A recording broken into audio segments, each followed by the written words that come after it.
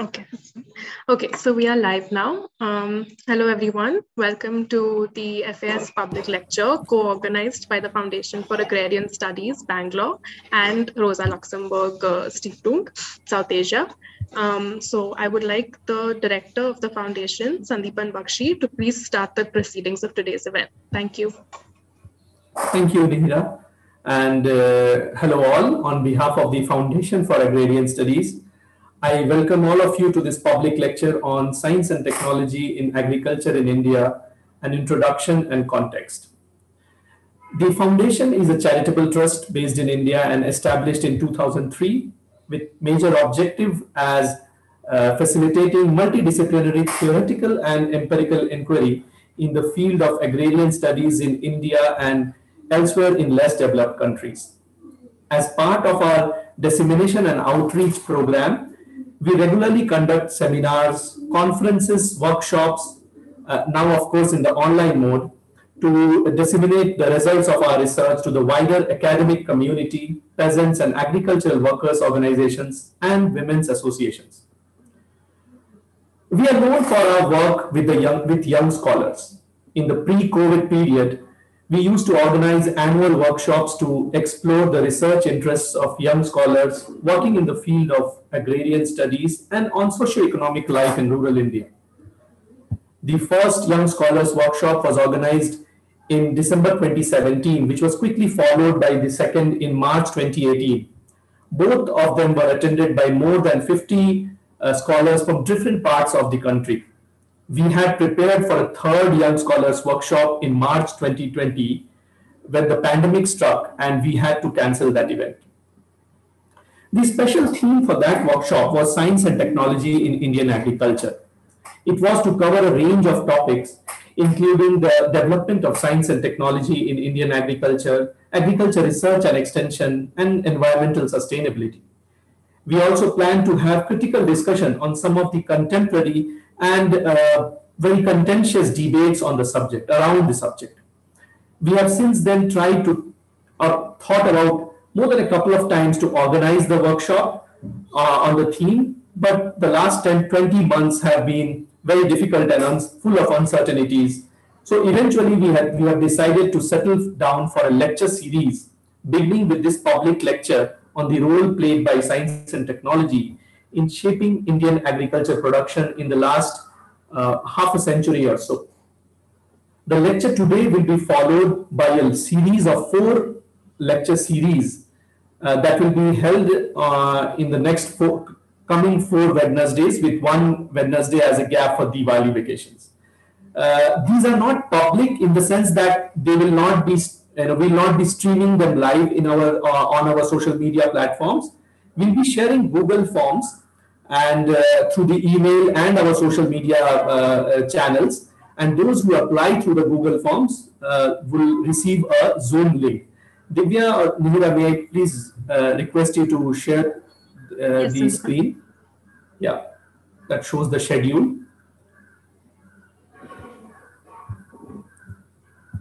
Okay, so these are the four lectures after today's public lecture. The uh, next one is on October 27th uh, by Dr. Rajendra Prasad, followed by uh, one on November 10th, November 17th, and November 24th. So this schedule and the Google Forms will be made available to all of you through emails and social media from tomorrow. And I, I hope and request that all of you who are participating today would participate in the lecture series as well. Now coming to the thematic focus for today's talk and the lecture series that uh, will follow, I'd like to tell you that we at the foundation uh, have been con consistently engaging with this subject matter from a social science perspective, whether it is on the uh, whether be it the contemporary debates or the history of agriculture science and technology in India.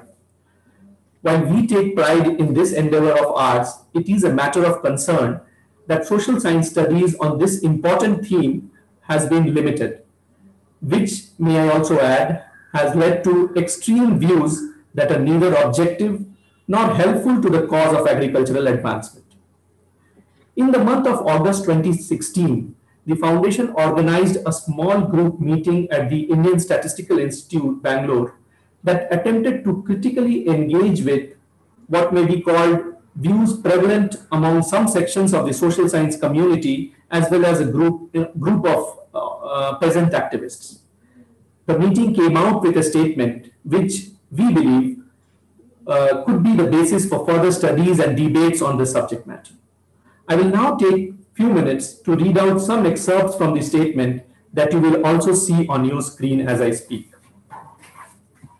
Divya, can you please share the screen? So uh, the statement begins by acknowledging that agriculture is essential to the survival of humankind for the provision of not just food and nutrition, but also fuel and construction material.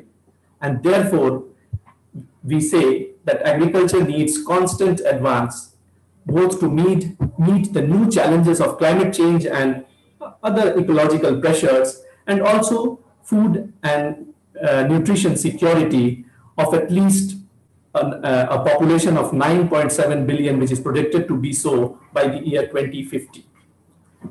It is in this background that modern developments in science and technology becomes crucial to agricultural production and its advancement.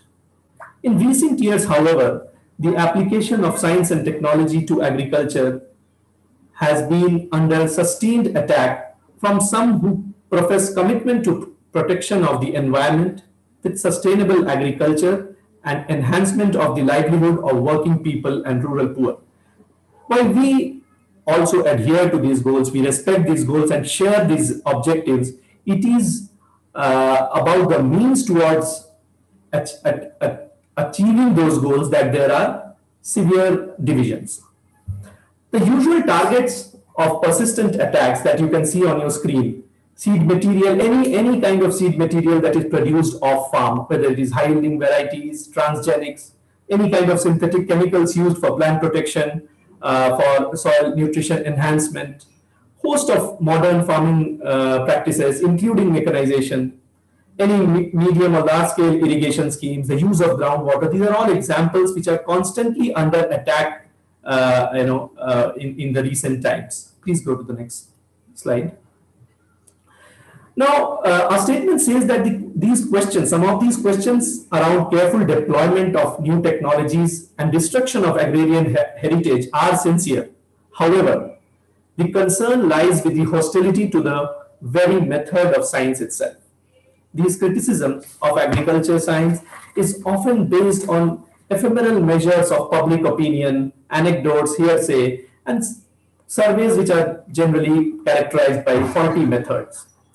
We, on the other hand, say that the major concern, the critical concern in you know, when we look at agriculture science research and extension today is the private capture of scientific research. And a stark example of this is the increasing concentration of scientific research uh, in the private sector in uh, whether in whether when we look at the area of genetic engineering or biotechnology. This is while while it is a truism that research and extension undertaken by national agricultural research systems and international public access institutions drove the green revolution of the mid 20th century. What we observe here is a tendency to conflate the very serious concerns related to ownership of technology with the use of technology itself. It is this conflation that makes us feel that there is a need for, to develop a more nuanced understanding. And this lecture series is another attempt from the from our end, from our side, to address the need for an objective understanding of the role of science and technology in advancing sustainable agricultural production. With these words, if you can exit the share screen. Yeah. Uh, may I call upon uh, Professor Madhura Swaminathan, head uh, of the Economic Analysis Unit Indian Statistical Institute, Bangalore, and chairperson of the MS Swaminathan Research Foundation, Chennai, and also a trustee of the Foundation for Agrarian Studies, uh, to chair today's uh, event. We are very grateful to Professor Swaminathan for agreeing to chair the session at a very short notice. We had initially requested Professor K.C. Bansal, Secretary, National Academy of Agricultural Sciences, who was to chair the session but had to, at the last moment, attend to some other urgent work responsibility and could not join us today. may I once again call upon Professor Madhura Swaminathan. Madhura. Yeah, uh, thank you, uh, Sandeepan. And I think this uh, series of lectures being inaugurated by Professor Ramakumar today is coming at a very uh, opportune moment because uh, you know, science is being derided and irrationality is on the rise. It's very important today to examine the role of science and scientific temper in every sphere of life. And we are going to start with uh, the context of agriculture today. I'm very happy to introduce uh, Professor R. Ramakumar, uh, who is professor at the Tata Institute of Social Sciences, Mumbai. Uh, he has wide-ranging interests, but I think has started his doctoral work in the issue of agrarian studies, and that remains a continuing interest for him uh, through his uh, research on a variety of issues. Uh, most recent book of his was called Notebandi, and it was on demonetization and its effects on the disastrous effects on the Indian economy. I'm also happy to tell you that he has a forthcoming book on agriculture uh, called A Hard Time Indian Agriculture After Liberalization, which should be out by the end of the year, early next year. And I think that will be a very comprehensive study of the effects of liberalization on the uh, agricultural economy and on the people in the agricultural uh, economy. So uh, welcome, uh, Ramakumar, and over to you.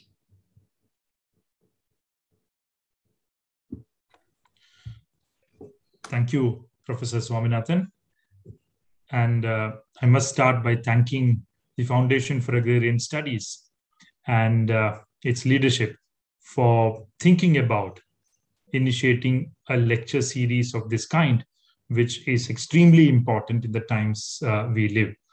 As Professor Swaminathan mentioned, this is the time of uh, spread of rational thoughts, uh, superstitions, uh, and a number of uh, uh, number of arguments which are completely completely counter run completely counter to any idea of rational thought.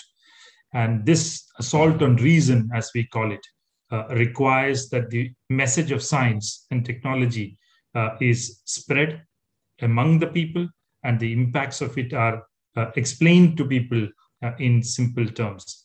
Uh, in that sense, I think this lecture series on uh, science and technology in agriculture will be a very useful starting point to initiate a larger discussion and debate in the public uh, as to how to recapture the spirit of science and reason in agriculture itself.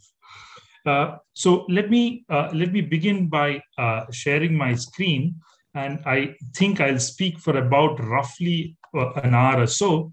After which I'll be happy to engage with questions which I'm sure will be moderated by the chair. Uh, so basically, uh, this lecture is about science and technology in, an, in, in Indian agriculture. And this is more uh, pitched as a kind of preface to the lectures that are likely to follow from here. Uh, that is, which will look at different specific themes and sub-themes uh, in agriculture and agricultural science. What I shall do today is to give a broad overview of uh, the subject, the evolution of the subject of science and technology in, in agriculture. And I, I, shall be drawing extensively from published literature uh, on the subject. And each slide of mine will have a small footnote, which will be a reference text for uh, further reading, as well as a pointer to where, where I picked uh, those points from. Uh, so uh, I, I, hope I will be able to uh, provide the uh, audience with uh, a good set of readings as well at the end of this lecture as to where to look for in, when you have a particular question to ask about agricultural science. Uh, so let me begin. My uh, lecture is going to be broadly uh, structured in this way. I shall begin by flagging the importance of the role of science and technology in agriculture. Uh, I shall then discuss the case of India in particular, how science and technology in agriculture evolved right from the time of British rule and then into uh, the time of independence and after, and then discuss the time of green revolution in greater detail, uh, which also uh, sits together with the question of how various institutional developments took place in uh, India's agricultural research sector. I shall then spend some time on the achievements uh, as to how different crops and their production and productivity performed uh, in this period. And towards the end, I shall take up two issues. One is uh, the question of interface between agrarian relations and uh, the agricultural technology and its diffusion. Uh, and finally, some debates that exist in terms of uh, new technologies in agriculture.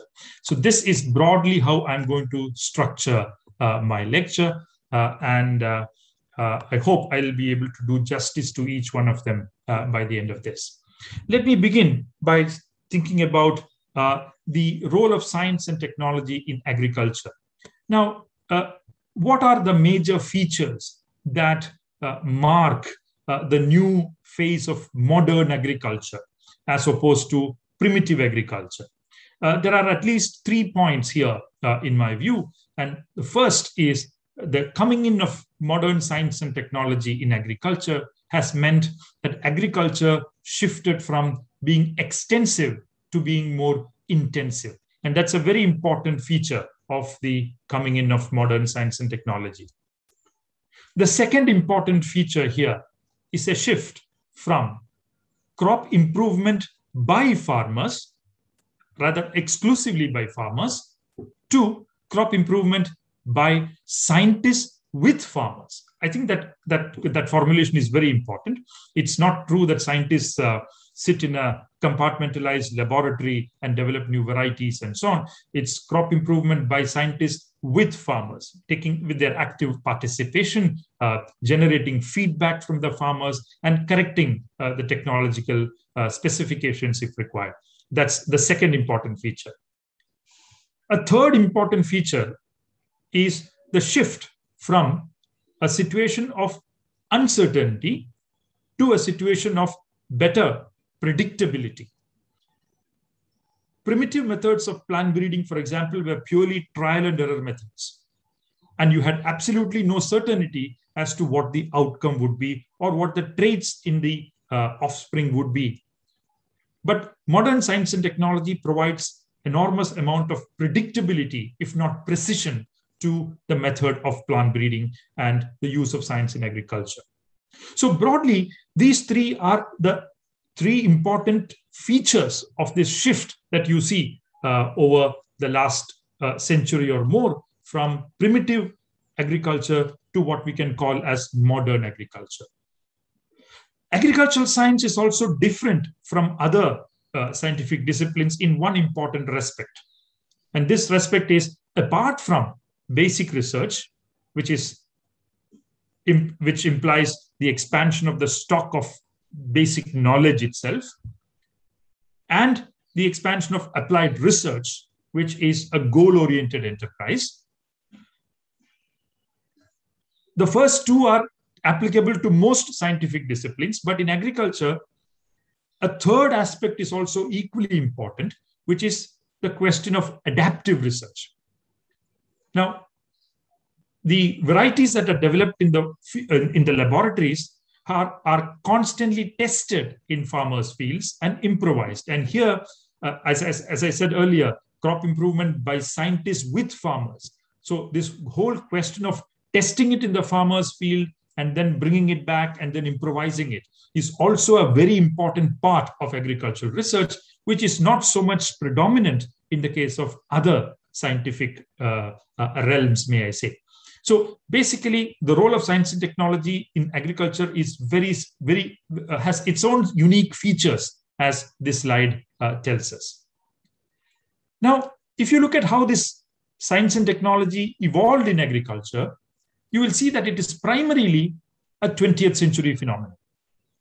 You can date it to somewhere around 1850s and later, that is the late 19th century, but its adoption and use are primarily a 20th century phenomenon. So from the mid, mid 1800s, you will see a series of innovations taking place, which actually mark a huge breakthrough in the way farming is undertaken as an enterprise. You have innovations in soil chemistry by Liebig, in crop agronomy by Boussingault, the discovery of super, uh, superphosphate uh, in 1842 by uh, John Bennett Lawes. Then two very important uh, works at that point of time on evolution by Charles Darwin and the, the, uh, the rather uh, development of plant genetics by Gregor Mendel in 1865. All these were features of agricultural science and its development in the second half of the 19th century. But these were largely theoretical developments, conceptual developments. There was another one in the early part of the 20th century. For the first time, the Nobel Prize in Chemistry was won uh, by Fritz Haber for synthesizing ammonia. And that was also something that contributed significantly to, uh, to, uh, to uh, the, the use of science in agriculture. Uh, also in 1913 or so, you will see BASF uh, sort of starting the first ammonia plant uh, and so on. So all those are features of the early 20th century. These scientific endeavors are disrupted by the two world wars, as well as the Great Depression that comes in between. But there are some developments that take place in between. From the 1930s onwards, there is some amount of increased adoption of improved seed varieties in United States, Europe, and so on. But though science was ready in this form, large scale adoptions of this technology begin only after the Second World War. And that is something that is a global phenomenon, and that's also true for India. This is the time when crop yields begin to rise uh, in uh, on, on, a very rapid at, at, a very rapid rate, and technologies of the new era are adopted on a large scale by farmers.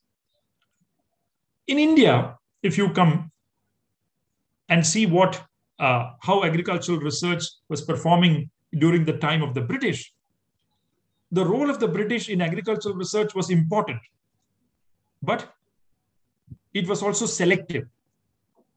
These uh, endeavors in agricultural research were limited to a few crops where the British had commercial interests wheat, cotton, jute, tea, etc. Also, with the uh, occurrence of frequent famines in that time with the uh, establishment and uh, the reports of the different famine commissions, three of them at that time, the John Voelcker Committee of 1889, and also the Royal Commission on Agriculture in 1926. There were some efforts by the British to begin uh, activities on the agricultural research front to create what they called as quote unquote scientific agriculture. That was something that began during this period. And you will see on the right side of this slide a series of agricultural research institutions which were established during the colonial rule in India, beginning from the Imperial Bacteriological Laboratory in Pune in 1889, IARI, which was Imperial Agricultural Research Institute at that time, later became Indian. Similarly, uh, the Imperial Veterinary Research Institute in Nagar and Mukteshwar. Then the formation of ICAR, Imperial, then Indian, uh, in 1929. The Department of Agriculture was formed. Then you had uh, uh different institutes for uh, different crops or subsectors specifically, like, for example, cotton, sugarcane, tea, etc., etc. Number of commodity committees were formed. A rubber research institute was formed. So all these were actually uh, endeavors of the British time. Nevertheless, as uh, Nanavati and Anjaria point out in their path-breaking book called The Indian Rural Problem, they say that all of this work, which was so far narrowly confined to the laboratory and the experiment station, has not been brought into living organic relationship to the work on the fields. And they ask, all this work has been done, institutional development uh, has occurred. But what does all this come in the aggregate? Is the rate of progress satisfactory considering the seriousness of the problem? Has Indian agriculture been set on the right path? And they said these are not satisfactory for a subcontinent of the size of India. There are some excellent results, results by way of better yields at various laboratories and research stations, but of what avail is all this as long as the stream of knowledge is not duly canalized so as to fertilize the actual fields and farms where the cultivator works. Others, for example, like Carl Pray, have also argued that the real lacuna in the British period was there was uh, basic research and applied research, but very little adaptive research. That's another literature, but I'm not going into that at this point of time. So essentially, by the time we were independent, Nanavati and Anjaria say that we were in a vicious cycle of poverty and primitive technique. Yields were low, in declining in many, in many crops. Professor Bagchi, who is here in the audience, has done enormous amount of work uh, uh, also in criticism of uh, the estimates provided by uh, Heston for the colonial time. There were imbalances between regions which were growing over time. Soil quality and fertility was declining. The seeds used were of poor quality and the livestock were poorly yielding. Large extents of cultivable land were actually left fallow and irrigation facilities apart outside the canal colonies were very poorly developed. And as a result, you will see that food grain output in India during the last 50 years of the British rule grew at a meager 0.1% per annum, whereas the population was growing at more than 3% per annum, which resulted in a sharp fall in food grain availability per head from about 200 kg per person to 150 kg per person. This is the broad context in which agricultural research begins after independence. There are mainly four protagonists in this whole story that we are talking about. Government of India, which played a leadership role, investing, regulating, spending, etc. Multilateral and bilateral donor agencies, such as USAID, for example. The International Agricultural Research Institution, the International Rice Research Institute in Manila, in Philippines, and the CIMMYT in Mexico, for wheat and maize. And finally, the Indian farmers themselves. It was a joint enterprise of all these four uh, protagonists, which uh, led to a development of Indian agricultural research in the early parts or early periods of Indian independence. And scholars have basically said that you can actually divide uh, the first 25 years or so of independence into three broad phases in terms of development of agricultural research. In the first phase, between 1952 and 1965, the idea was to develop a new and indigenous national agricultural research system. So basically, you had the USAID coming in and playing a very important role in developing agricultural universities in India. The first agricultural university was formed in Pantnagar in 1960 during this period, and many other agricultural universities at the state level were formed from the early 60s onwards. The Rockefeller Foundation played a very important role in developing the National Agricultural Research System itself. And the Ford Foundation played a very important role in spreading adaptive research in different parts of the country. So these were important developments of phase one. Phase two saw a very important effort to overhaul and reform agricultural bureaucracy to facilitate uh, the transfer and diffusion of HYV technology, high yielding variety technology. Here, C. Subramaniam played a very important role. He uh, sort of uh, reformed the agriculture department completely. He created uh, uh the, uh, the ICAR, and the Director General of ICAR was not anymore an, a civil service officer, but an agricultural scientist. The Agricultural Research Service, or the ARS, which was a cadre, specific, uh, special cadre of agricultural scientists, was formed during this time. All these were developments of the second phase. The third phase was where all these was put into were put into action. Changes in agricultural practices as a result of uh, intensified agricultural extension activities via the introduction of uh, high yielding varieties and other uh, aspects of that package among farmers. So there are broadly three phases here that we can think about. What were the major issues of Indian agriculture at this time? Indian agriculture very clearly had very low soil fertility, thousands of years of soil erosion, and very poor levels of crop management had meant that soil fertility was, was uh, on a decline in a big way. Second is countries like India had this problem of a high ratio of cultivated land to total cultivable land. A lot of land that can be cultivated are already cultivated.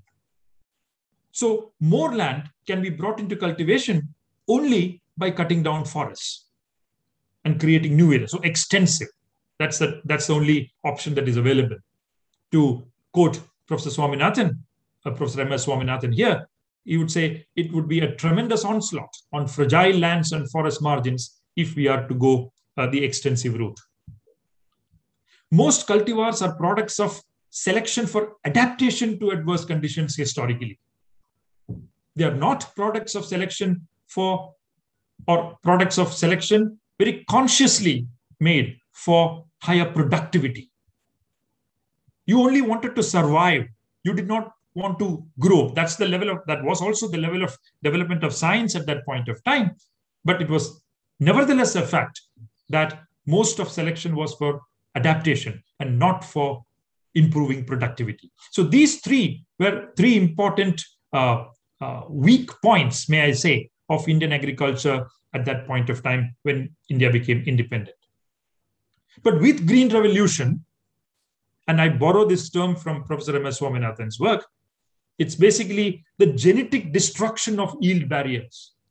And there is a beautiful paper which you will see as the footnote here, uh, which uh, uh, uh is very important to understand this phase, where Professor Swaminathan talks about the way in which India, for the first time in history, genetically destroyed the barriers to higher yield.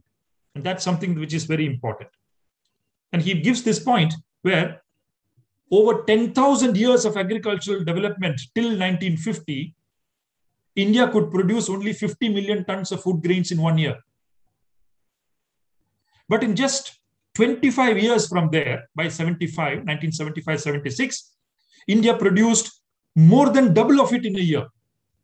We were producing 121 million tons in a year by 1975, uh, 76. So what could not be done in 10,000 years could be done and could be further improved upon in about 25 years' time. And that's what is the genetic destruction of yield barrier all about. So there was breeding of new seed varieties, which were selected specifically, consciously for higher yield potential and not just for adaptation to adverse conditions. The breeding of new seed varieties were such that you ensured that these seeds would respond to better agronomic practices.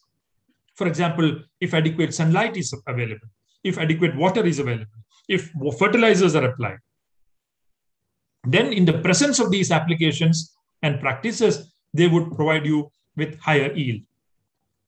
Finally, the focus was on breeding plants with a morphological architecture and a developmental pattern in its physiology, which is conducive to such a response. That is, higher yields as well as response to better agronomy.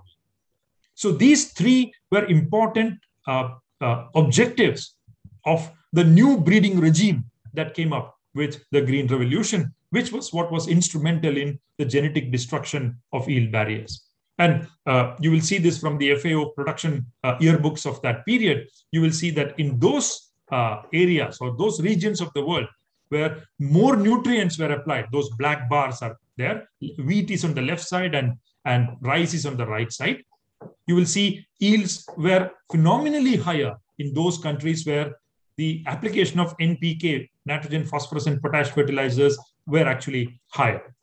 And that was something which was uh, a very important feature of uh, uh, change in this period with respect to how uh, agronomic, agronomic practices were uh, developed and diffused. Let me take the example of Indian rice, indica rice, in this particular respect. Wheat, uh, sorry, rice production in India at this point of time, the early years of independence, prior to Green Revolution, faced multiple constraints. These rice plants that were available were had uh, had stem and straw which were weak and tall, which meant that most of them were susceptible to bending down as the height grew. And this phenomenon was called lodging. A lot of it because rice is cultivated in submerged fields. This would mean that the grains would touch the water and there would be there would be enormous amount of amounts of crop loss. Now, this was a very important problem. All the plants that you had traditionally were having weak and tall straw. They also had a poor trap of calories because most of them were cultivated, at least in the first crop season, in the cloudy monsoon seasons where adequate exposure to sunlight was not actually available. Most of them were also season bound. Season bound in the sense that many of them were photosensitive. As a result, their, their response to uh, application of inputs was not straightforward. It was dependent on how much sunlight was available to them uh, in, the, in, in terms of the number of hours of sunlight available per day. That is something that was uh, another uh, important constraint during this time. And because of their architecture, the upper leaves and lower leaves were, were developed in such a way that the upper leaves uh, hid a lot of sunlight that should have been available for local leaves. And as a result, sunlight was not fully utilized and photosynthesis suffered as a result. Poor water management was another problem. And also poor pest and disease control was yet another problem for which no solutions were available at that point of time. So all these were clearly issues that existed in rice production at that time. It was at this point that the Chinese scientists, a lot of people think that Green Revolution came from the West. Green Revolution did not come from the West. Green Revolution actually came from the East. In fact, it may have gone via the West and come, but it did come from the East. That's the key point to note here. And the East does not include Australia and New Zealand. And this is very important. Chinese scientists at that point of time found a mutant variety, which was very classic at that point of time. It was like a eureka moment for many of them, Dee-geo-woo-gen. And this Dee-geo-woo-gen was a variety which was dwarf, 60, 60 centimeters in height, and hence would not lodge, had thick skin. And they also had uh, stiff and erect leaves so as to allow better flow of sunlight to leaves below. These seeds were also photo insensitive. They were not susceptible to changes in the relative lengths of day and night in terms of their yield performance. And also, finally, they had no seed dormancy. In other words, you could sow immediately after harvest. The dormancy period is simply not there. So it quickens the uh, uh, shifting of one crop into another crop. So this was a very important feature at that point of time. And from Dee-geo-woo-gen, Taiwan developed a new variety called the Taichung Native 1 in 1956, which was the world's first semi-dwarf rice, where a tall indica variety was crossed with this Dee-geo-woo-gen, and you got an offspring which had stiff and upright leaves, which was dwarf, which had synchronous tillering, which had photoinsensitivity, which had drought resistance, and also something which had no dormancy. And this was something, this TN1 was some kind of a major uh, breakthrough at that point of time in the development of rice varieties across uh, uh, the countries of Asia, at least. This TN1 was brought to India along with its uh, prototypes called IR8, IR5, etc. And when crossed with a tall variety from Odisha, T141, this gave rise to varieties like Jaya and Padma, which are still in use in many parts of India. These were one of the first high yielding varieties of seeds which were developed in rice by India's agricultural scientists. Then came a variety of other seeds uh, and varieties Hamsa, Krishna, Kaveri, Bala, Ratna, all these were actually products of the 1960s and 1970s. If this was the case with indica rice, Similar was the case with Japonica rice also. And later, the products of indica, indica uh, crosses were actually crossed again with Japonica varieties. So indica versus Japonica was another uh, cross which was uh, practiced at that point of time. And you got really excellent seeds as a result. For example, ADT 27, uh, which was widely used in Thanjavur at that point of time, gave you a yield of five tons per hectare. It just had 105 days duration, short duration it was, and it also had high protein content. So all these were very important discoveries in the field of rice. And suddenly, what Swaminath, Professor Swaminathan said about genetic destruction of yield barriers, 10 tons per hectare in paddy looked very much possible at that point of time. So this is a graph which will tell you uh, the uh, trends in uh, the uh, productivity of paddy uh, in India. You will it's, it's in kg per hectare. You will see that in 1965-67 you were somewhere around 1,300 kilograms per hectare, and by 1987-89 India had more than doubled its productivity in rice. We were at 2,616, and it has almost doubled again by 2019. Okay, so we all we had some kind of two doublings in productivity of rice over uh, the last uh, uh, 60 years or, or, 60 to 65 years, so to say, uh, where we have made tremendous advances in increasing the productivity of rice as a result. And you can see this has been a linear process. This has been uh, something which has continued without much of uh, a disruption. Of course, there have been periods where growth rates of productivity growth have fallen, but on an average, you will see that the trend of growth has continued. And this has also meant that you could double the production of uh, rice in India from about 30 million tons in the mid 1960s to 60 million tons by 1983 84. And yet another doubling over uh, the next period, right up to 2021. Now you are producing close to 122 million tons of paddy in India. And that's a remarkable achievement. From 30 million tons, uh, you have actually made it four times. Uh, uh and uh, uh, you are now at 122 million tons. This is the story of rice. Come to wheat. Wheat had a slightly older history compared to rice in terms of agricultural research. IRA had developed two or three varieties which already had yields of close to three tons per hectare before independence. And that was done in the Imperial Agricultural Research Institute in Pusa. And in 1935, one of India's foremost agricultural scientists in wheat, Benjamin Peary Pal, BP Pal, uh, he successfully added the quality of resistance to rust diseases into this. And he developed new varieties uh, from Pusa, uh, his Pusa Research Center as well. But then much more work was to be done in wheat, not just in productivity, but also in quality. People preferred bold, hard, amber, and lustrous grains in terms of wheat because a lot of uh, people uh, stored uh, these uh, wheat grains in mud boxes uh, for a longer period of time because they preferred this rice to make chapatis and so on in their houses, which meant that they needed wheat uh, varieties which would withstand the conditions of storage.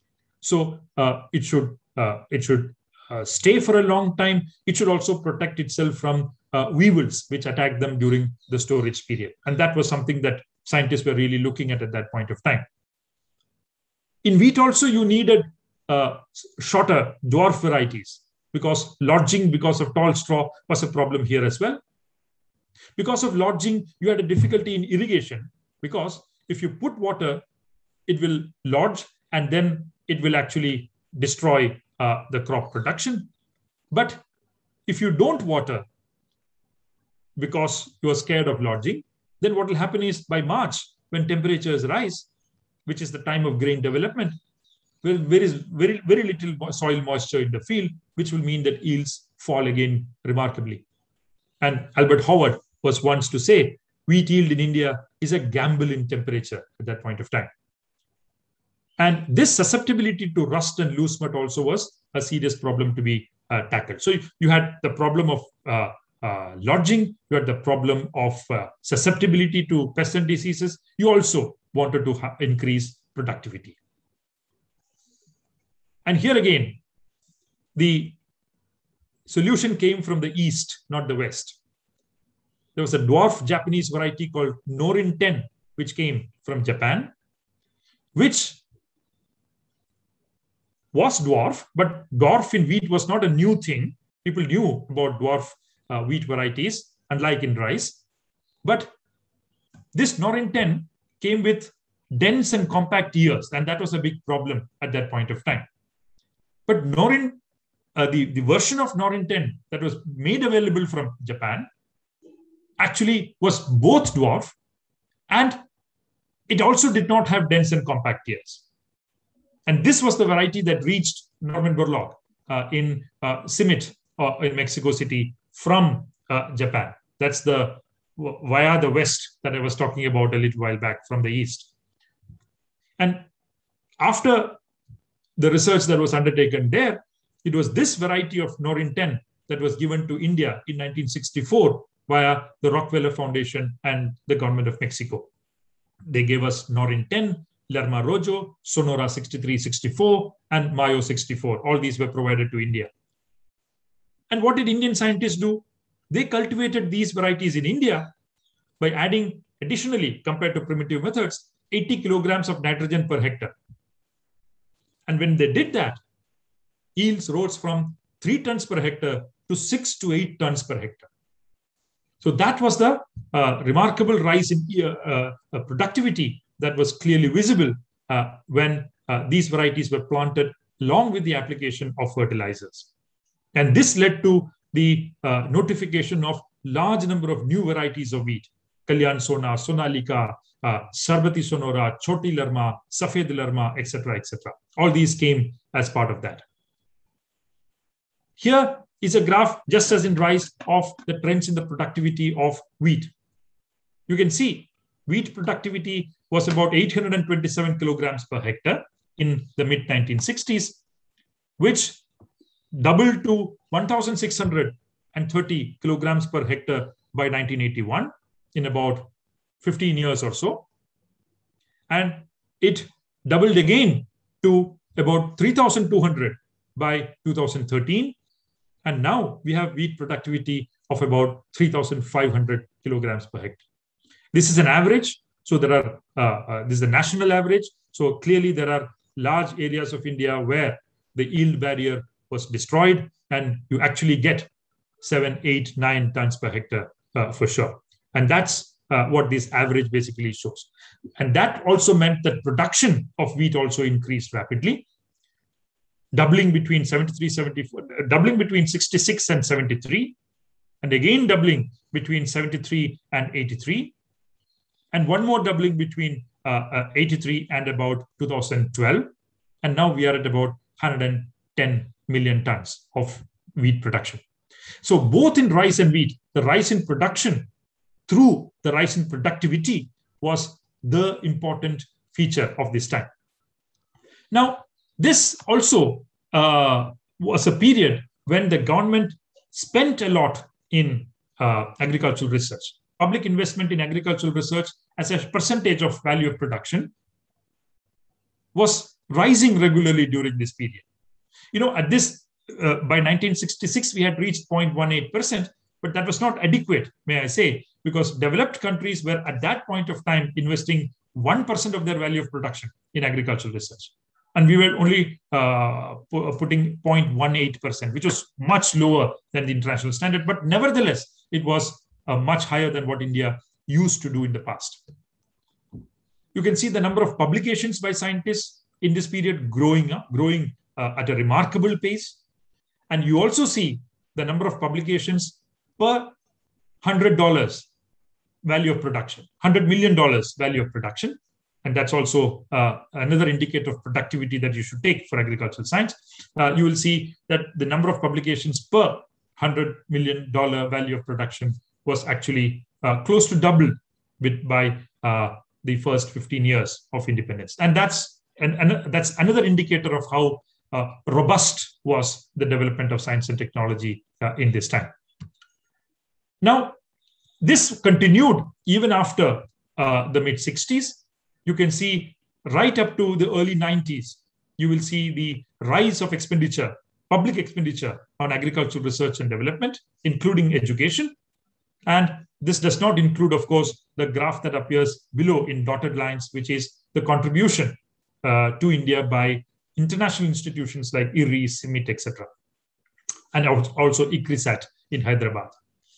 Uh, and if you look at another feature, the center state division of expenditures, you will see from 1970s onwards, what you also see is the role of the states in funding public agricultural research has been growing rapidly. Today, uh, states contribute close to half of the total agricultural research expenditure in India. But, so the, the rising importance of states in, in, in, in investing in agricultural research is yet another feature of this period that we are talking about, certainly up to the early 90s.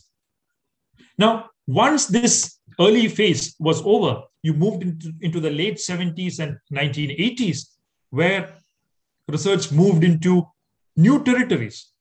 In rice and wheat, for example, public research was moving into developing more hybrids rather than varieties, certainly. So it was now doing both hybrids and varieties. It was trying to instill more resistance in uh, two pests and diseases in the new hybrids and varieties. And an effort was on at this point of time, both in rice and wheat, to mostly Indianize their genetic makeups. By what, what, what I mean by Indianized genetic makeup is that these uh, newer varieties that were coming from the 1980s onwards were largely crosses of Indian and Indian varieties or Indian and Indian hybrids, not anymore crosses of Indian and a foreign plant.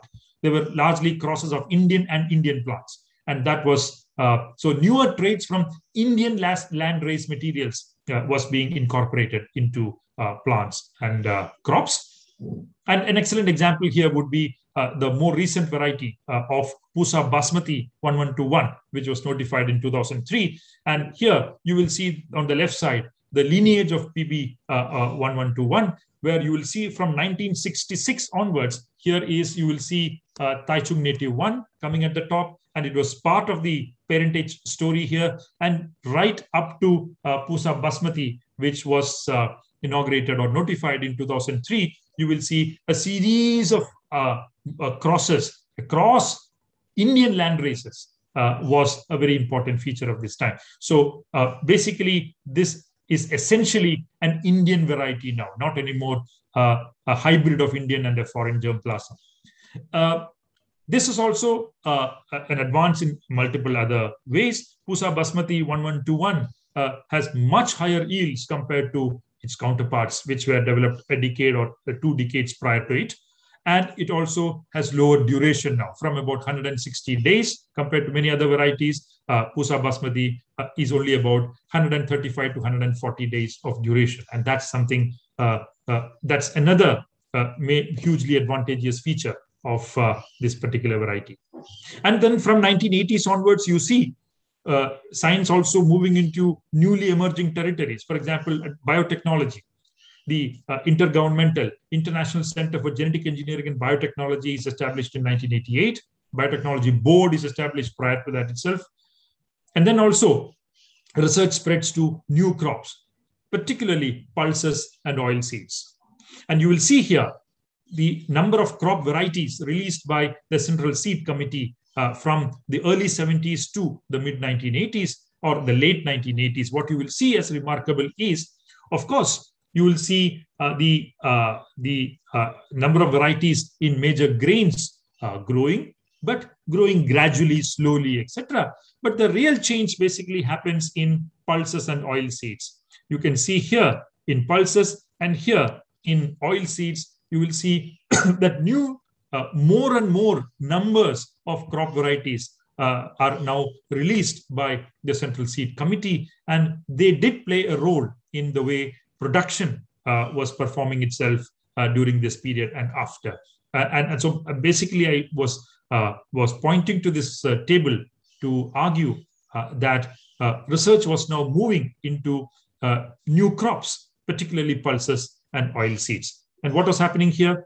In oil seeds, we had this very important technology mission on oil seeds in 1986, which was a real breakthrough moment uh, for a crop outside the rice wheat complex.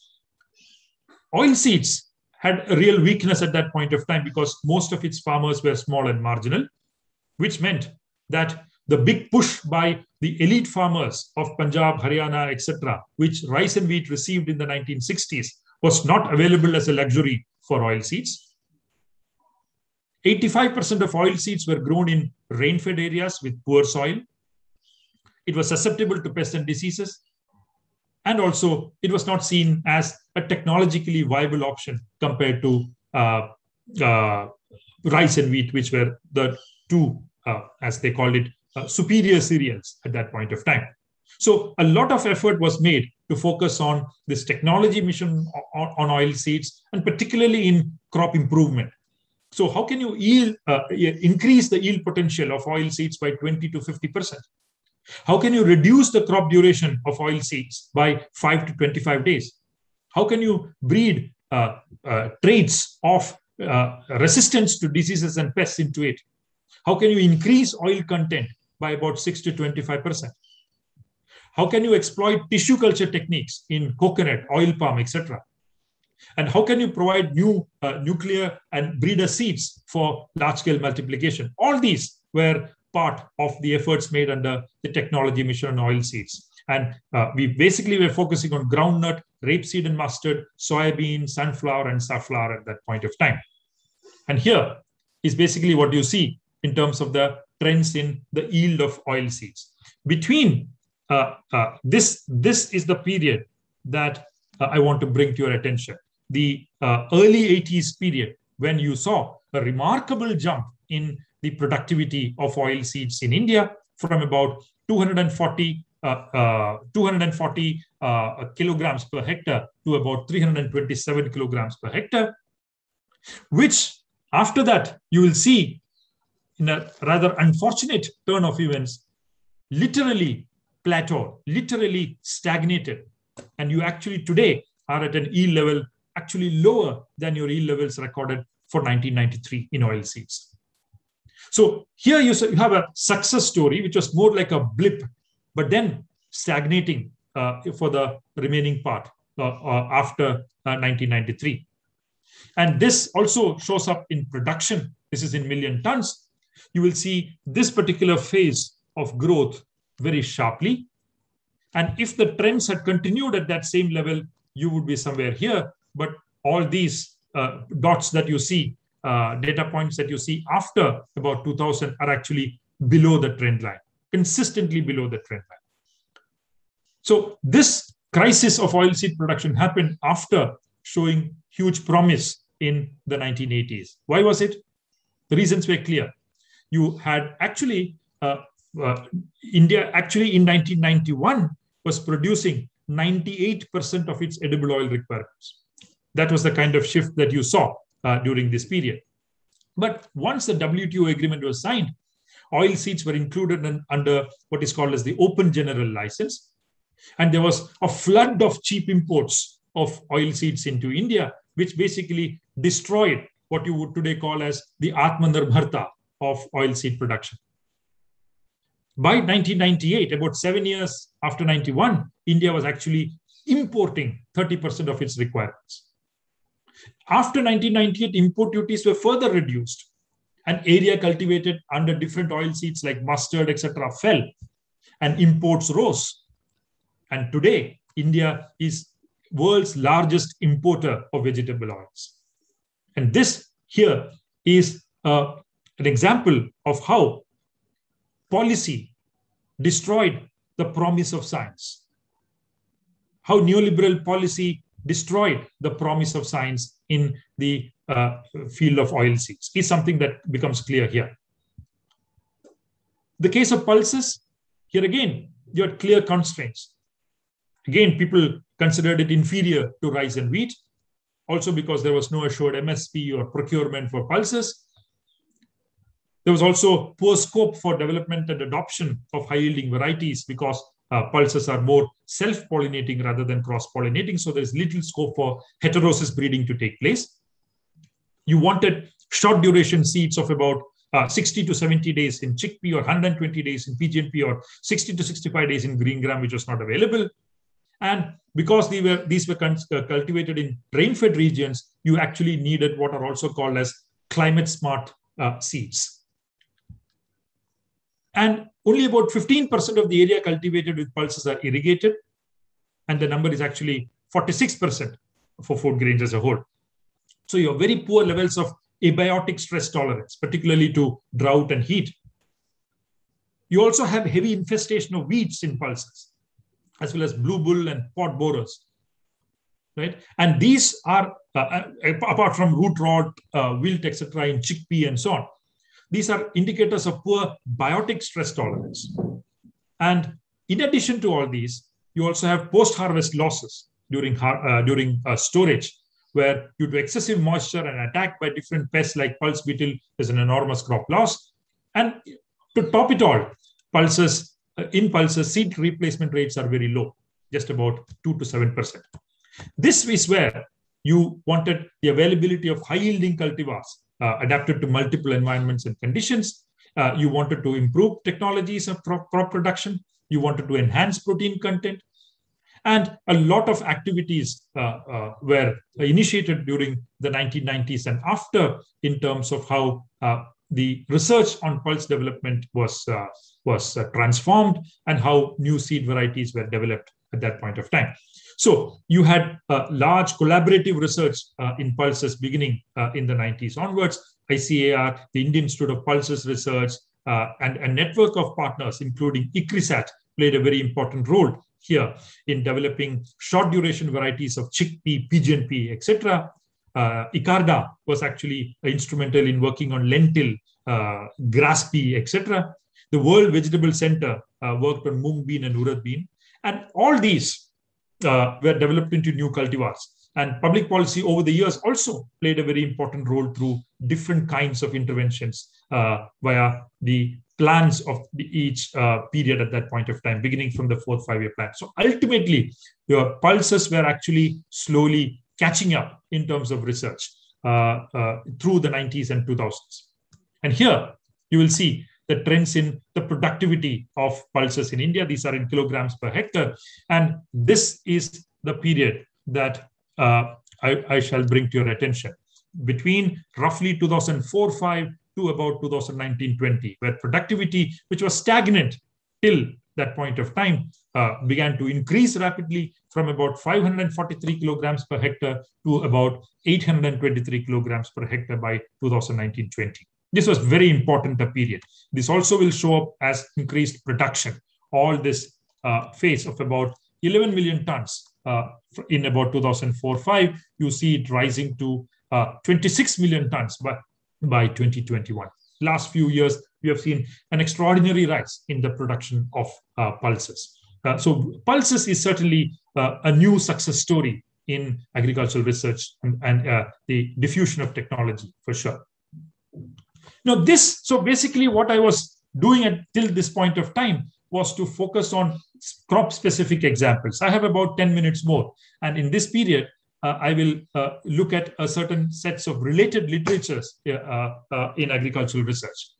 Uh, now, the first is related to a lot of literature and writing exists uh, with respect to total factor productivity and rates of return to public agricultural investment and so on. Uh, you see there's a proliferation of papers uh, which will actually focus on calculating TFP uh, in agricultural research and so on. I'm so I'm, i belong to a set of economists who are hardly uh, convinced by the robustness of this estimate called total factor productivity. I'm not going into the details of it, but basically, uh, uh, a one sector production function is assumed here and uh, you assume full employment and perfect competition. You assume constant returns to scale and diminishing returns to factors. And also, you look at partial equilibrium as a good substitute for general equilibrium. As a result, what you get is actually after all the input induced and input impu imputed effects on production are taken care of, are controlled for, the rest that you get in terms of the coefficient, in terms of the residual, is what is called as uh, belonging to technical change. But in fact, this is not technical change because it is actually the remainder of everything else that you did not consider, including the assumptions, the errors and assumptions, uh, errors in assumptions that you have made in your production function and estimation process. So, so uh, uh, this, the two very fine papers that I've uh, provided as references below, which will provide you detailed critiques of TFP and their uselessness or meaninglessness in uh, this kind of research. So I'm not getting into it in greater detail now. Uh, but there is another set of literature which is very, very important because they link public agricultural investment and rural poverty. Uh, Shenggen Fan, Peter Hazell, and Sukhdev Thorat and others have done an enormous amount of work where they actually show that government spending on productivity enhancing investments have actually contributed not just to agricultural productivity, but also to the reduction of rural poverty. And that's something that is very important set of work uh, that I want to flag here. I'm not going into that in detail. The readings are there uh, as the footnote. Uh, this brings us to the period of economic liberalization. And I will argue here that there are continuities between the pre-liberalization and post-liberalization periods, but there are also major shifts or changes. This shift uh, uh, from uh, pre-liberalization to post-liberalization is first, in terms of continuity, you see the green revolution seamlessly merging into the gene revolution of the 80s and 90s and later. So, but this is a, I, I call it continuity because there is a long period of uh, work which happens prior to this, beginning from Mendel's work uh, in genetics uh, from 1900 onwards, uh, through the double helix model uh, of DNA in 1953, Watson and Crick's, and in 1973 when Cohen and Boyer uh, discovered the recombinant DNA experiments. And when finally the US Supreme Court gave in 1980 patent protection to genetically modified organisms, with the coming of molecular markers, with the coming in of the use of recombinant DNA technology to develop genetic, genetically engineered transgenic crops, all these create the so-called gene revolution, where there is more precision and predictability far higher compared to the trial and error method that was practiced in primitive agricultural research. And that is something that uh, is a very important uh, continuity yet change uh, in this period. But more important as a matter of change is something else. The discontinuities are very important because here you also see the rise of intellectual property rights in a big way after the WTO agreement was signed, basically IPRs are instruments used to enclose knowledge for profit. And that is an undoubted feature of gene revolution that we should not miss sight of. There is no more the free presence of germplasms for open research as they existed during the Green Revolution period. There is a weakening of public agricultural research that happens. This graph basically tells you the share of agricultural investments, public agricultural investments in India as the share of total uh, the GDP from agriculture. Okay, agricultural investment as a share of GDP from agriculture. You can see from over the last 20 years or so, you are at a rather stagnant level of 0.5% of GDP spent, agricultural GDP spent on agricultural research. You know how much is spent by developed countries? 3%. 3%. You know, you know, there is an average for developing countries available, and that actually shows 0.68. India is lower than the average for developing countries in terms of uh, public agricultural investment as a share of uh, agricultural GDP. So this stagnancy of expenditure is something, investment is something that is remarkable uh, during this period. And this is why I call it weakening of public agricultural research because this is the time when agricultural research in the public domain should have forayed into biotechnology, should have forayed into genetic engineering, and uh, uh, and and matched the research by private agricultural research uh, institutions during this time and large corporations during this time. They've shown that it is possible, and this is also the time where you have concurrently strengthened private research corporations. So ultimately, innovation and diffusion are subordinated not to a social good, but to private profits. And given the nature of flows of uh, capital across countries, global finance as well. And this is where something, something that uh, Dr. Sandipan Baksi mentioned in the beginning. I want to flag it again. I'm very happy that he said it in his uh, in his introduction. The distinction between, and that's where we have uh, we uh, uh, uh, those of us who call ourselves belonging to the as belonging to the progressive camp, say, may I say, should ensure that we make this distinction between technology and who owns the technology. Now, this distinction is not, we should not exaggerate this because this, over a period of time, what you see is uh, our differences of, of opinion with the ownership of the technology ends up manifesting itself as an opposition to the technology itself. We oppose a technology because the technology is owned by Monsanto. But how can you socialize that knowledge? How can you capture that knowledge into public domain and make it available under public domain to larger sections of people and farmers? That question remains unexplored because you remain in some kind of dogmatic opposition to the technology just because it belongs to a particular corporation. And this is something that is very important to note at this point of time. Yields have risen. Nevertheless, even though private financial, private agricultural corporations uh, put out the new varieties and hybrids, yields have risen. But it's also true that costs of seeds and other inputs have also risen, leading to profitability risks. And here, I provide you with the productivity uh, estimates uh, for, uh, uh, for cotton. And here, sorry, you will very clearly see that the productivity is a completely different story after BT cotton is introduced into Indian agriculture. Now, you can say that there is some fluctuation here, but that fluctuation is within a much higher mean compared to the mean that existed here. Okay, so the fluctuation should bother us because cultivation is spreading to rain-fed areas where there is less water and hence cultivation is more uh, risky. And as a result, you do see fluctuations in it. But nevertheless, it is a fact that uh, that production, productivity has risen. And this is something that is extremely important to note. And this, I shall close with uh, one slide, uh, uh, uh, Professor Swaminathan. so this era... Five minutes, yeah.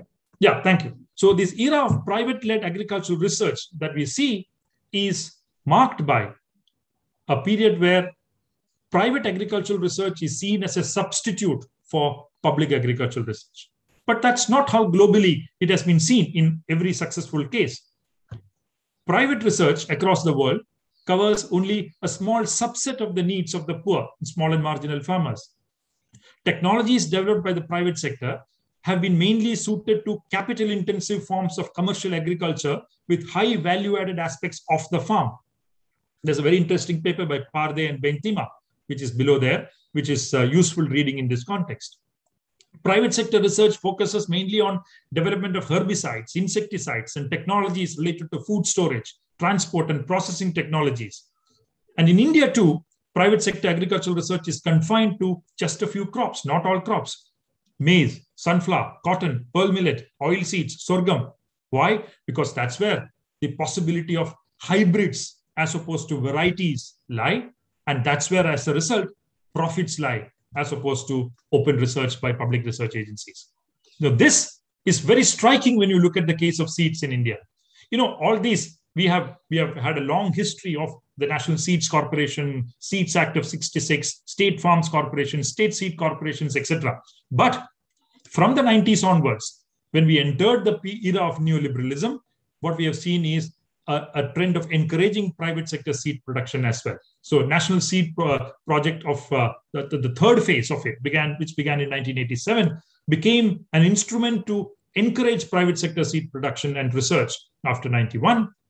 In the new industrial policy of 1986, these seed and biotechnology firms were reclassified as core industries. So entry of large foreign firms became easier. And with the new seed policy of 88, there were more incentives and exemptions provided for private players in the seed industry. Foreign equity in a seed company was earlier limited to 40%, but after 91, 100% foreign equity was allowed in the seed industry. Seed imports were freely allowed for research purposes under OGL. And finally, the introduction of intellectual property rights in plant breeding also became a reality in India. So all these meant that the seed sector in India is completely looking different today as opposed to 30 years back. Today, as a result, private sector seed companies produce low volume, high value seeds. Basically, they focus on hybrids in oil seeds, maize, cotton, vegetable crops, etc. And the public sector produces high volume, low value seeds. So there is a clear division of labor that has emerged between public sector and private sector. All the profit-centered areas are captured by the private sector. Public sector has withdrawn from them, and public sector is into low, low value seeds primarily. And so, of the total seeds sold in India, that's the latest data available, about 59% is actually sold by the private sector today. And the share of private sector in the total quantity of seeds sown is, is different in 42% in paddy and 53% in wheat. But that's because more of more there is more public sector varietal presence there. But in other crops where there is private sector hybrid presence, you will see that it's up to 95%. So the share of private sector in those seeds is 95%. In cotton, it's close to 100% actually. So uh, this is something that is uh, a remarkable uh, feature of the shift of public to private uh, in uh, the seed research that you will see. So I will uh, slowly uh, close my lecture here. I had a few more slides, but i am going to uh, skip them. Maybe we can take some of them during the discussion. I did want to consider some of the aspects of criticisms that have arisen in the form of debates in with respect to the green revolution technologies and so on. Uh, but the point I want I would like to make here is that the expansion of science and technology in Indian, Indian, Indian agriculture was a remarkable phase, a remarkable phase where you saw not just the country achieving uh, food self-sufficiency, it moved from being uh, dependent on PL 480 food aid from the Western world, a ship to mouth existence, so to say, to a situation of food self sufficiency, or in other words, political sovereignty itself by the early 1990s. That was a remarkable feature of green revolution and the expansion of science and technology in the public domain in indian agriculture this led to increase in productivity increase in incomes increase in nutrition though this leaves a lot to be desired we know because distribution is a complete mess in India, which has been further exacerbated by the exclusionary neoliberal policies when we moved from universal uh, systems of public distribution to targeted systems. So distribution is a very different story. But in terms of production, it is clearly a success. And we need to move into more crops. We have moved into pulses, oil seeds, etc. But we need to, we need to move into new crops as well. Uh, there's uh, Ramakumar, yes, there are a lot of interesting questions. So perhaps closing sentence. I'm closing. Yeah. So, so this is something that is remarkable in terms of the contribution of science and technology to Indian agriculture as well as Indian economy itself, because a lot of uh, uh, conceptual textbooks will tell you that industrial development itself is largely dependent on how fast agriculture grows. So that's a different story, of course. I'm not getting into that. But very clearly, the contributions are immense, commendable. And the only matter of worry in this new context is uh, the move from uh, the shift of emphasis from public agricultural research to private corporate agricultural research. That's where a political movement has to continue in a different way. Thank you. Thank you very much. Uh, I'll be looking forward to taking questions from here. Uh, thank you. Uh, thank you, Ramakumar, for uh, taking us through a century or, or more than a, you started in the 18, uh, late 19th century, more than a century of change in agriculture. And I could not see the footnotes, so I'm not sure if all the other participants saw the footnotes. So I will request uh, uh, the FAS to share those footnotes with the uh, participants because I think uh, there's a lot of material that we need to read and uh, mull over. Uh, there are a lot of questions already, and I will turn to them, but I will put one which I mean, any you can answer these at your uh, in your own order. Is really you know playing the devil's advocate that yes, um, not just green revolution but the gene revolution, uh, all these um, there have been adverse uh, negative effects, particularly in the context of the environmental issues and you know how do we do deal with that you know do we go back to traditional technologies? There's a very big move uh, globally uh, for you know, going back to uh, traditional technologies where possible. So I'd really uh, like you to address that at some stage. But let me add a few of the questions. And I think one very important question which has come is on distribution, but not, uh, you know, not from the point of view of consumers, but Amit Kumar Sharma asks, how will you solve the problem of disparity between castes and class uh, that have actually been created by this new technological developments? Uh, there's a, there was a question on the role of productivity in your graph uh, of rice production, but I think you answered it's not area, but productivity that was uh, mainly the, played the role there. Uh, there are couple of questions which are very interesting from Dharmaraj Narendranath on you know, what are the new areas of challenges. He says that should the science and technology now focus on protein, nutrition, reducing the carbon footprint, in, uh, in uh, achieving higher productivity rather than on you know, high production alone. Uh, and so this whole, what is the role of science in climate change, you know, in dealing with mitigation of uh, impact of climate change on agriculture. Uh, so maybe you could take these two questions uh, on class, caste and class and climate change or new, new areas, and then we can go on to the others. Uh, please unmute. Yeah. So, Madhura, thank you for those questions. And in fact, the they precisely deal with the slides I could not use uh, because of lack of time. So, I'm going to allow me to share two or three slides where I will quickly try to answer uh, these points. Uh, the first point is with respect to inequalities and, and different uh, distributional issues uh, that were raised. You know, it was something that was discussed a lot during the 1960s and 1970s, if you look at the literature. Uh, basically, uh, there's a very beautiful uh, review paper by Professor J. Mohan Rao uh, in a book edited by Terence Byres in the 90s, which deals with this issue in great detail. But the point here is that uh, uh, India moved into green revolution without implementing land reform. The, the diffusion of technology that was attempted in India though was successful in many ways, was not successful in many other ways, A, in, in, in achieving its full potential and ensuring distributional uh, uh, uh, distributional certain amount of distributional uh, uh, justice because land remained unequally distributed in the country. And that is something that has class implications as well as caste implications. Dalits and adivasis were largely devoid of secure ownership rights to land. So this relationship between organization of production, property rights, and technology diffusion is something that is discussed a lot in the literature. Uh, Professor K. N. Raj uh, in 1969 compared India, Taiwan, and Mexico and said, if you do not have institutional reforms, and then if you put in technology, the transformation of traditional agriculture, it's an indicator, indicator to what Theodore Schultz would say, uh, it's a re- response to Theodore Schultz, transformation of traditional agriculture would get reduced to just a promotion of dualism. And, and Raj has been proven completely right in many ways. Uh, if you look at the uh, numbers after 1970 uh, and how India's structural transformation has proceeded.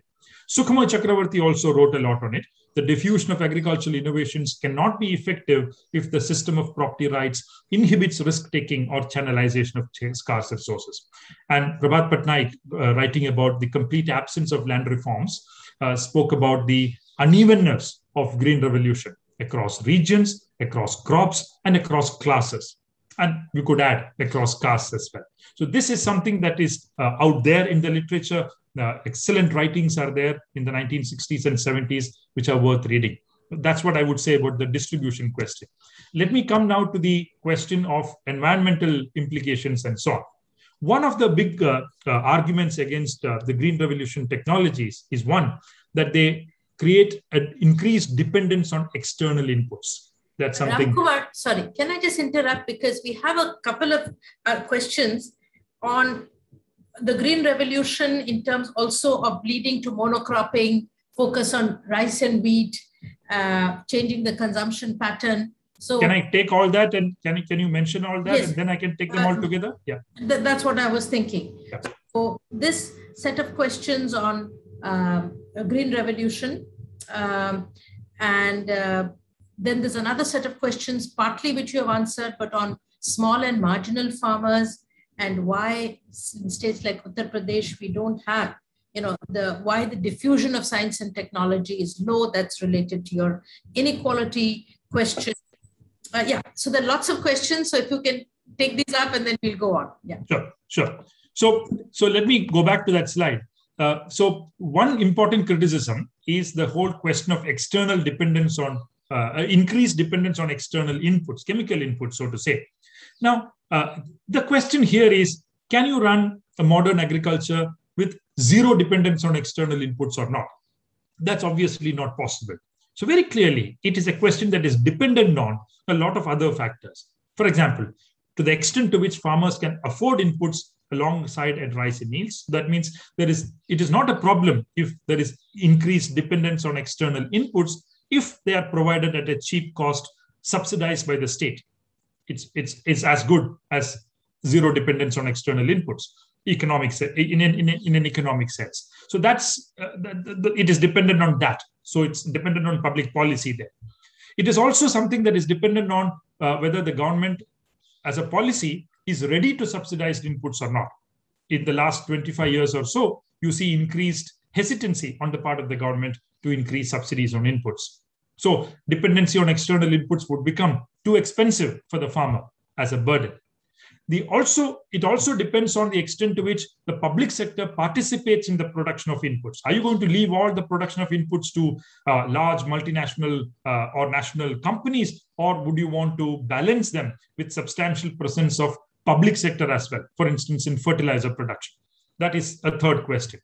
The fourth question, thus, is also dependent on uh, what is the appropriate framework of research and policy that you have in the country, in the economy, which will uh, intermediate between the farmer on the one hand and the external input on the other. If there is a democratic intervention by the government, it is quite possible that this dependence is actually uh, negated effectively uh, uh, through different policy instruments. Uh, now, there is another point here can the question of external inputs be delinked from the real nutrient needs of soil? Indian soil is notoriously absent. Half of Indian soils are notoriously weak in nitrogen, phosphorus, potash, and multiple micronutrients like boron, molybdenum, etc., etc. So, can you simply ignore this? Can, for example, what uh, in a recent uh, uh, so-called uh, fake innovation, you have what is called as the zero-budget natural farming where it is argued that uh, application of uh, uh, cow urine and cow dung can actually take care of the nutrient requirements of plants. It has become a favorite propaganda story for the right wing Hindu nationalists because this also uh, escalates the cow into a national treasure of some kind. So, but the funny thing here is they provide what is called as Jivamrit. And here you basically have the application of 10 kilograms of cow dung and 10 liters of cow urine per acre in a month. And this means for a five month season for a crop, given the nitrogen content in these two materials, you only get about 750 grams of nitrogen per acre per season. The question is, is this sufficient or not? Any scientist worth his or her value will tell you that it is a complete bogus technology but we have it adopted as part of public policy, right? So, input Ram Kumar, I'm yeah. going to come in. Can you stop your screen sharing, please? screen, can we stop the screen sharing? So, I mean, there are a lot of questions. I think this, yeah.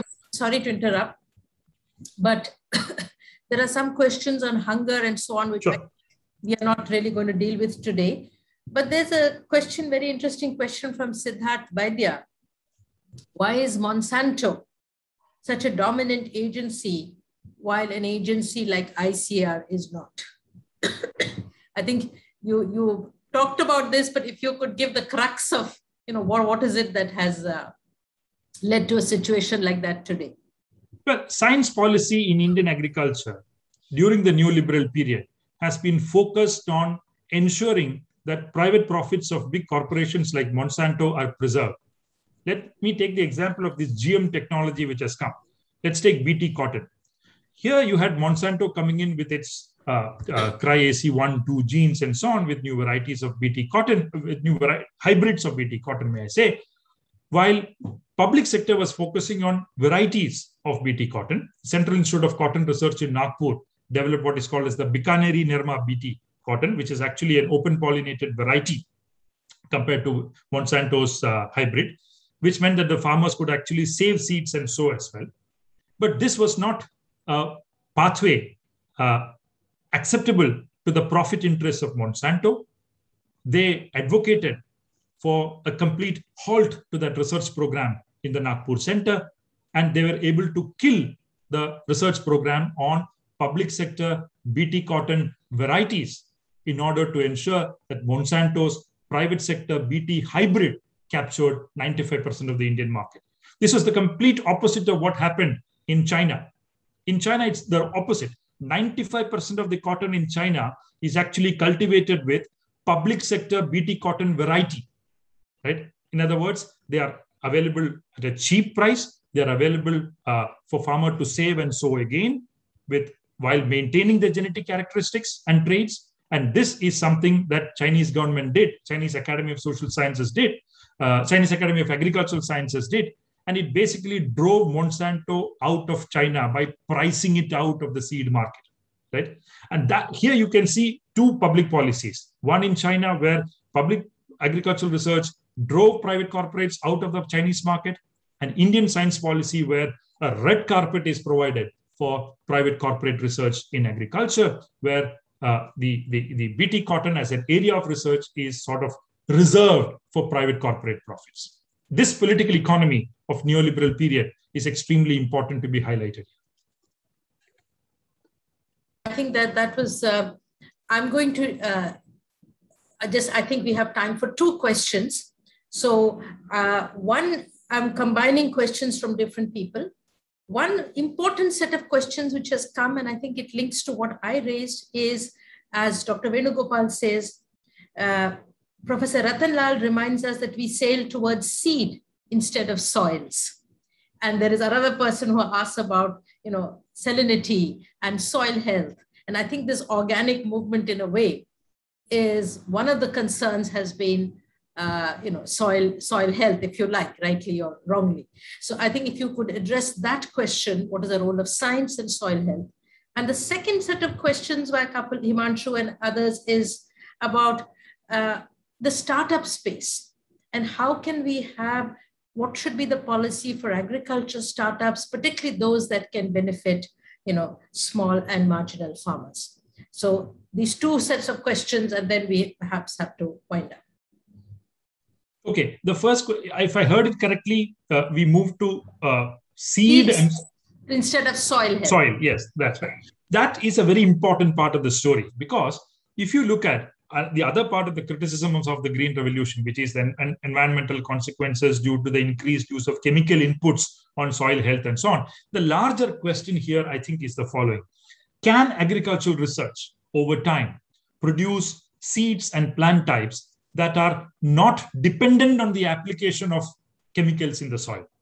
Ultimately, that's where agricultural research as an endeavor should move towards, and is certainly moving towards.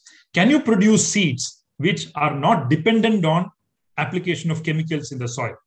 And, and that is where the importance of not just GM seeds, in fact, technology has moved far ahead of GM seeds today towards gene editing and so on, which provide huge possibilities in terms of developing seeds uh, with very specific qualities and traits which were unthinkable, uh, say 20 or 30 years back.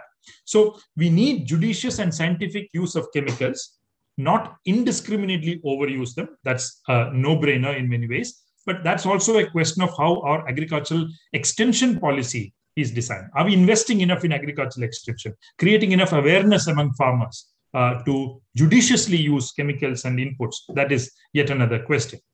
The final point is agricultural science itself has moved into new arenas where it is actively promoting the use of less chemicals in agriculture. For example, in many places you will see no tillage farming uh, coming up in a big way.